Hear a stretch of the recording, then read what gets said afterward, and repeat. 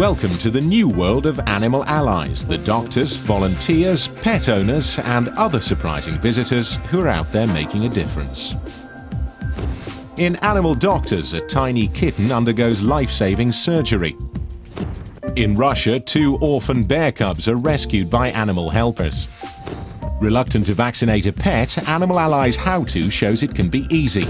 And Animal World takes a breathtaking look at the mystical seahorse.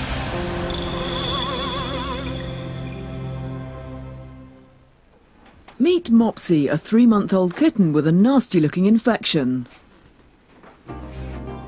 Mopsy is the victim of cat flu, which she caught because she hasn't been vaccinated. Not only could she lose her eye, she could die. You know, I think it's fairly certain that that's what's happened hmm. and that the cat flu virus has settled into that eye and, and really badly damaged it. To be honest, this eye looks beyond anything that can be sorted out. But Animal Ally Dr. Jessica Gower is hopefully not only going to save her life, but save her sight as well. She doesn't seem, apart from her nose and the nasal discharge and this dreadful eye, she seems completely her normal self. She's not gone off What's, otherwise. yeah, what's going to happen about the eye? We'll have a look at that in a minute. I think, to be honest, you're going to lose this eye. It, it, it's not something that's just suddenly happened. It's been coming on to look at it for a little while, and it's a very, very badly mm. damaged eye. Do you want your mum and dad to come in for us to have a talk about it? Yeah, I think I better. Shall I get them? Yeah, do you want to do that? Okay, I'm going to give her a shot of antibiotics and a bit of antibiotic ointment in both eyes. Um, it's too late to help the ruptured eyeball, but I just... At three months old, Mopsy lives with her owner Laura Mawson in a terraced house in southeast London. To anyone else, she may appear just another cat, but to Laura, she's very special. But it takes more than just being an animal lover when owning and caring for a pet. well worth the check-up because, I mean, you've been good owners, but you hadn't spotted the eyes. After about 15 minutes, Dr. Jessica's concerned that Mopsy's condition is very serious. She needs to operate and prepares the consent forms. Laura signs them, but she's still upset that she didn't notice Mopsy's condition earlier. Uh, devastated. Didn't realise that we should have brought her in earlier. Um, lucky that she's going to be able to save the other eye. Dr. Jessica is also worried that Mopsy might have the cat equivalent of the HIV virus known as FIV. If Mopsy's test is positive, she may have to be put down. So, after Laura says her farewell, Dr. Jessica takes Mopsy to the isolation ward. She fears the kitten could still be contagious, and the last thing she wants is the cat flu to spread.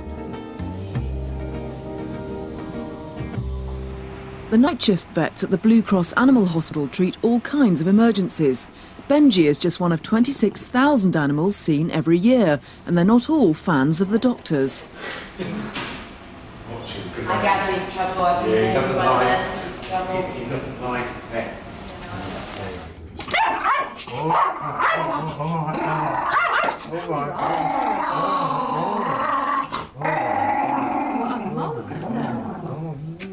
Michael is worried that his terrier has a reoccurrence of a spinal injury. But before examining his leg properly, Dr. Jessica wants to see the dog in action. Benji is clearly limping.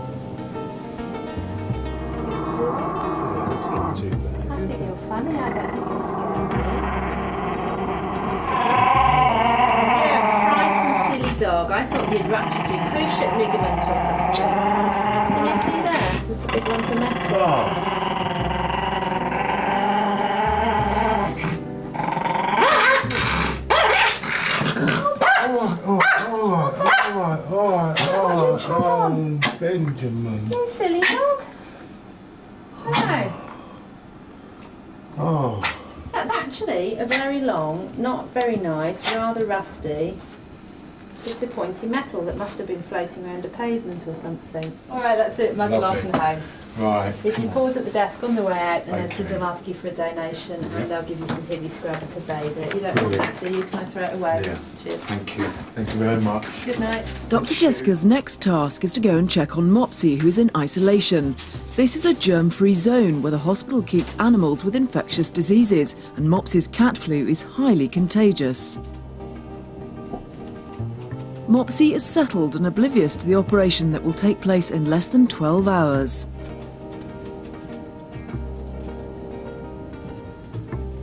The next day, Dr. Jessica's team make Mopsy's operation their top priority.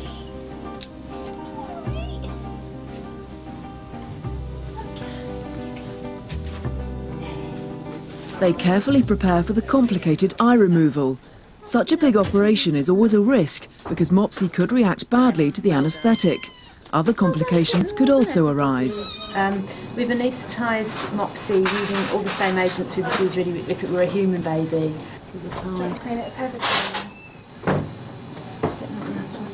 No, I think I would clean. I think I would clean that just with saline. Um, the kitten's in a, is in a bad way, and it's a shame because it's just really unnecessary. She just needs to have had a vaccinated mother and to have been vaccinated. Um, and I mean, cat flu is a traditional killer of cats, particularly kittens. Well, sit down and sit.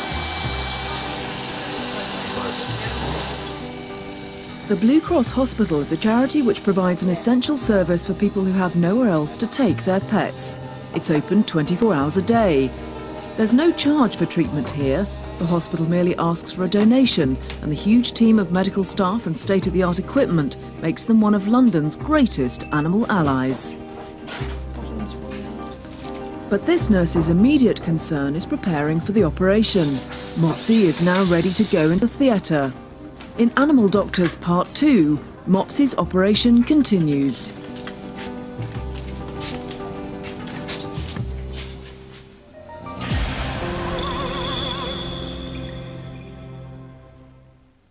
The end of another traditional Russian bear hunt. Until a few minutes ago, this female bear was hibernating. Now she's the latest trophy in a sport which has reduced Russia's bear population to the verge of extinction.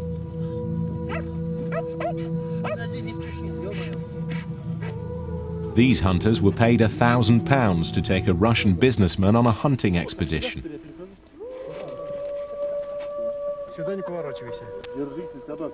But the female wasn't the only victim. Buried deep in the snow are her young.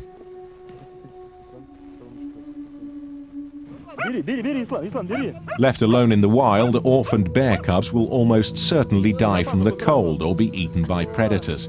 Many are given to circuses or kept as village pets until they become too big or too boisterous to keep and are eventually put down. For these bear cubs, the future's much brighter. They're about to start the long journey to the Bubonitsy Bear Orphanage, 250 miles outside Moscow. Here begins the long process of rearing the cubs and returning them to the wild. It's important the cubs develop a healthy suspicion of people from the start, so human contact is kept to a minimum. No one knows this better than the man behind the project, animal helper Professor Valentin Pazhetnov.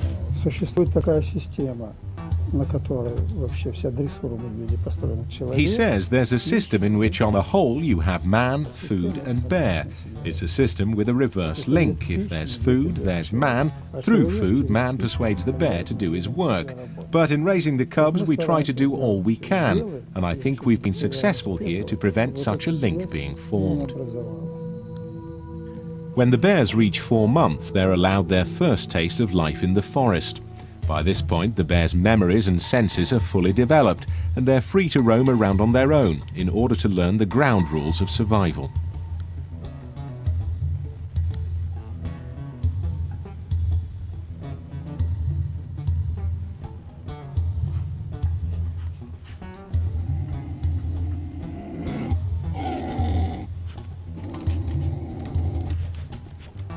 Dr. Masha Vorontsova is from the International Fund for Animal Welfare. During 10 years of the project's existence, 64 bear cubs were released into the nature reserves, and uh, we know that only one was killed by hunters. Uh, all of the rest are living fine, and we know uh, that they were traced by rangers in the nature reserve, and they know exactly the place where they're going to hibernate in winter. They know that they leave in summer, they see the traces everywhere, and that is the direct evidence that the project works. At six to eight months, the bears are whisked out of their enclosures, tranquilized and tagged before starting the long ride to the nature reserve where hunting is banned and brown bears are almost extinct.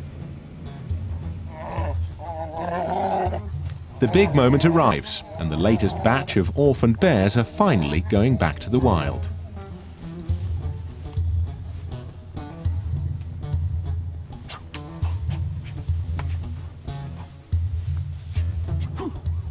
As long as hunting is allowed during the hibernation season, Professor Valentin Pazhetnov says bear cubs will continue to be orphaned. These bears are among the lucky few to survive. As for the newly orphaned cubs, their journey has only just begun.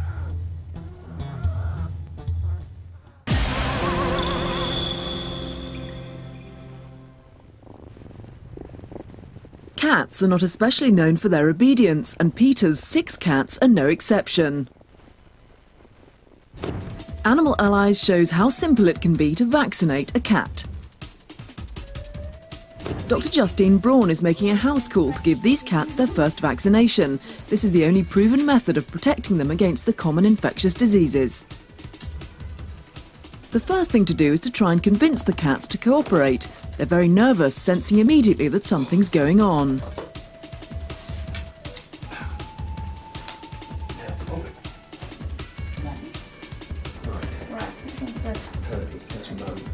Dr. Justine examines them thoroughly before administering the injection, making sure they're in good health.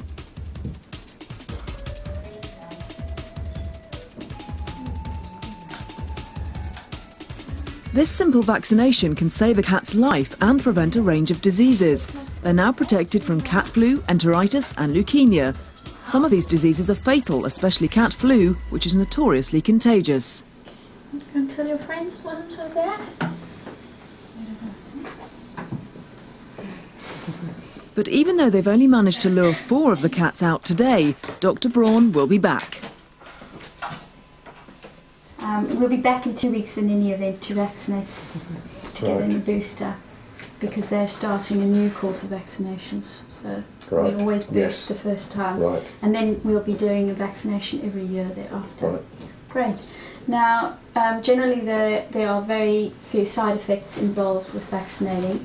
You may notice that they will be a little bit drowsy this evening, the ones that we've done, and that's quite normal. They might not want to eat tonight. Mm. That's really just a stimulation of the immune system rather than an actual reaction to the vaccination. So for this week's Animal Allies How To, contact the local vet or animal society and find out when the cat or kitten needs to begin a vaccination course. Follow up on booster shots. Keep an eye on the cat after the vaccination for any reaction and contact the vet immediately if unsure.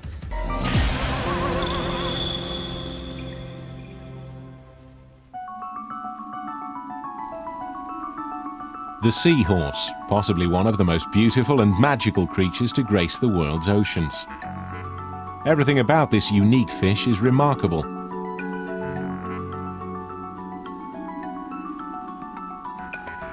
Perhaps this is why it has such mystical qualities.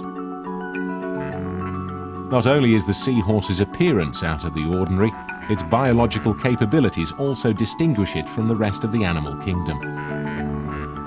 Dr. Heather Hall and Luke Rosser are two of the world's leading authorities on this fascinating creature, and both are heavily involved in a European breeding program.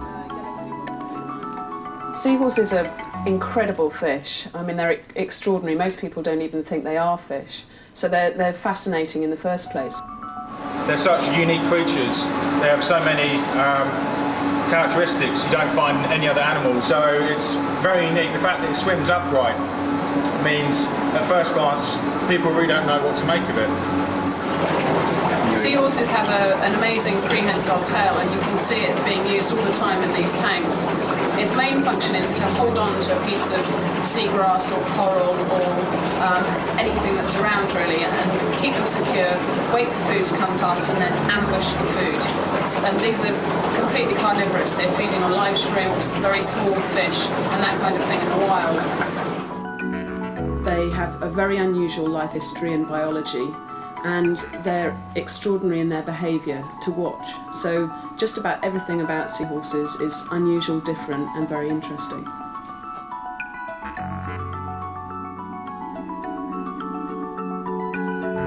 It is the way that seahorses reproduce that really sets them apart from the rest of the animal kingdom. The male has a pouch called a marsupium into which the female lays her eggs. It is the male who then fertilizes the eggs and cares for them for about three weeks. At the end of the pregnancy, the male gives birth to between 100 and 250 babies. But unfortunately, it is the unique nature of this creature that has undoubtedly contributed to its demise. Until 1994, we didn't know that seahorses were in trouble, but my co-director of Project Seahorse, Dr. Amanda Vincent, discovered there's absolutely enormous trade in seahorses. They have now become a conservation issue. 52 countries have been identified as actively trading in seahorses. A major consumer is the Chinese traditional medicine market, which prescribes seahorse for a number of ailments, including asthma, skin complaints, broken bones, and heart disease. If this level of consumption continues, it will not be long before seahorses disappear from our oceans altogether. As a response to the dwindling numbers and to prevent what would be a major tragedy from happening, Project Seahorse was born. Project Seahorse is a team that works all over the world with people who export seahorses, people who catch seahorses, and people who use seahorses, either for medicine or for the aquarium trade. And at each step in that chain, we try and improve the sustainability of the fishery to make sure that seahorses are going to be around for many, many years to come. The best way to reduce the pressure on wild seahorse populations is to stop people fishing. But because there's such a dependency on the fishery, we, and because these communities are so poor, we can't just go in and stop the fishery. You have to provide an alternative source of income. Project Seahorse has also encouraged ecotourism such as seahorse watching. It's also in the early stages of building aquacultures in Vietnam, which include seahorse farming.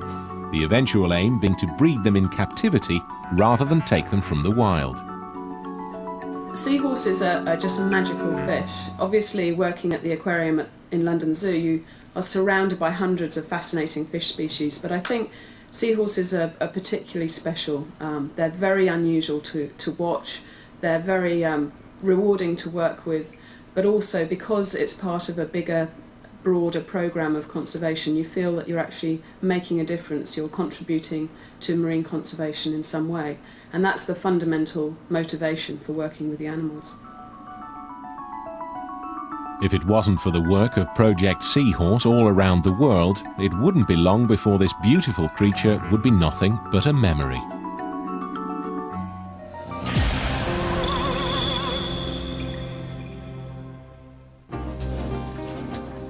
Back at the Blue Cross Hospital, Dr. Jessica Gower begins the grueling operation to save Mopsy the kitten. The inside of Mopsy's eye has to be left intact, and the blood vessel has to heal properly and remain infection free.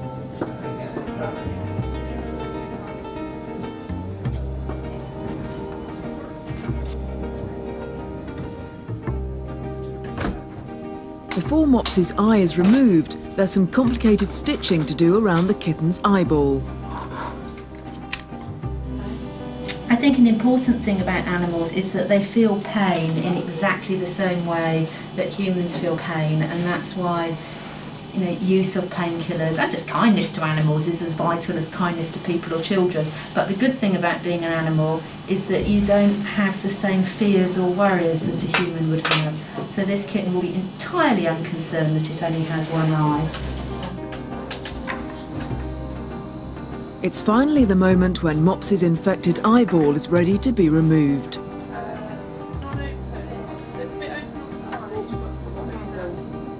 Dr. Jessica sews Mopsy's right eyelids together.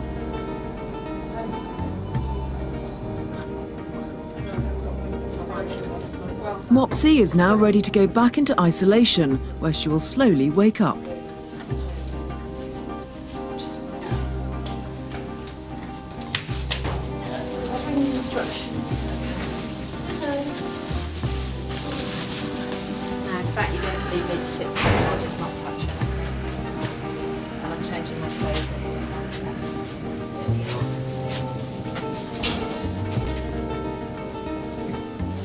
Fine. He had a good anaesthetic, potentially painful, but he's on better